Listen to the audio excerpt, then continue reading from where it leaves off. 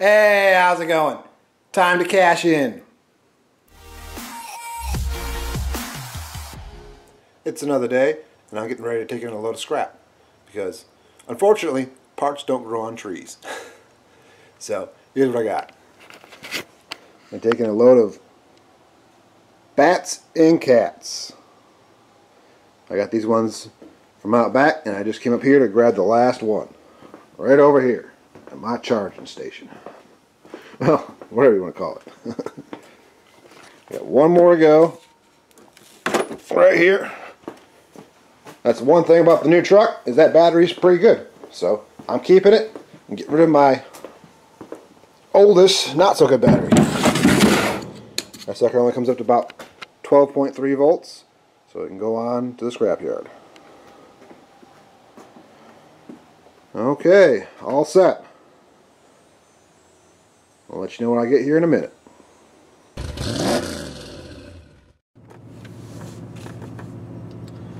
Okay, the results are in. And they are disappointing.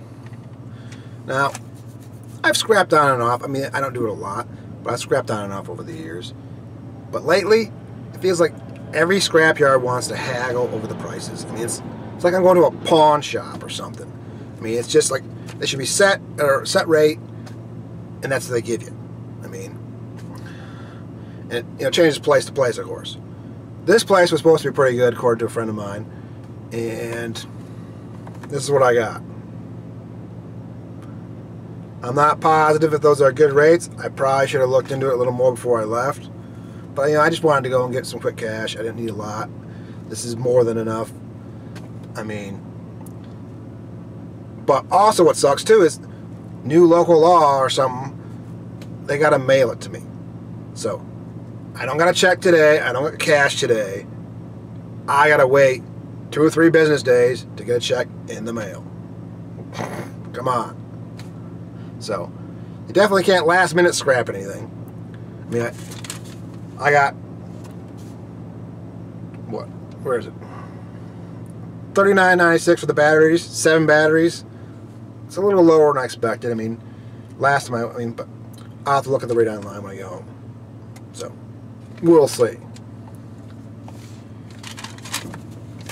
Anyways, also while I'm here, I decided to check out a local hotspot. Let's see what kind of activity's been going on. Don't know how well you're going to hear me outside because the wind's up.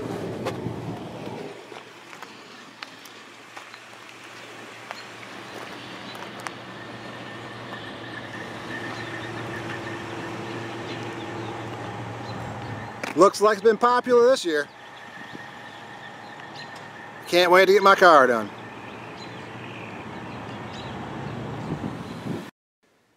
Okay, I'm back from my scrap trip.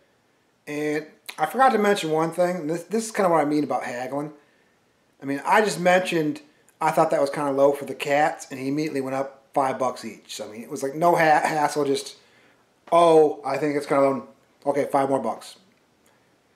So, I mean, it's just, it's just, In the last place I went to, they forgot one of the big things. And I was like, they add up my money and goes, here's your money. And I'm like, uh, you forgot to add the wheel scrap. And I mean, it was like a hundred and some dollars. So, I mean, it's just, you know, this place, they're going to try and not get you here, and this place, they're going to try and get you that way. And it's just, I, I'm almost not even going to bother with scrap anymore. Still, anyways, I thought this also would be a good place to include some clips, some clips I made the other day. So, check that out. Supposedly, three people are coming to get this thing today. Eh, we'll see. I've had more than a few message me with interest and say they want to come get it the next day and never hear back from them. Guess that's just how marketplace is these days. So, I went ahead and got some chains to lift it up with the picker if they show. And hopefully I do, and I can get some of my money back. Tranny's gone. You're next.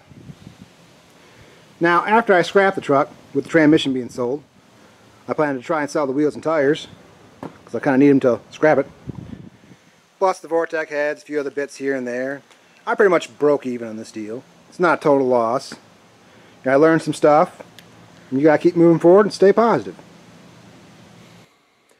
It's always nice when you can get some of your poor investment back. I mean, it would have been nicer if I wouldn't have bought a truck with a junk engine, but, you know, oh well, them's the breaks. This is what I got, and this is what I'm going to work with. Now, I still got to scrap the truck and sell the wheels and stuff, but it might take a little longer than I planned because there's a little bit of issue, issue with the dial I was going to borrow, so, I mean, as long as I get it out here by fall, I'll be happy. And that's also the prime time to sell the wheels and tires because right about wintertime, people start looking for tires because they're like, oh crap, my tires are bald and it's snowing. so it'll work out hopefully. Thanks for watching. Keep it real.